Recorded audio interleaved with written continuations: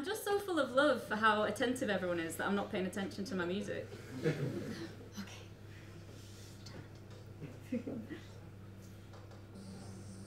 no, stop There we go. I'm a folkie that got some toys, that's the problem.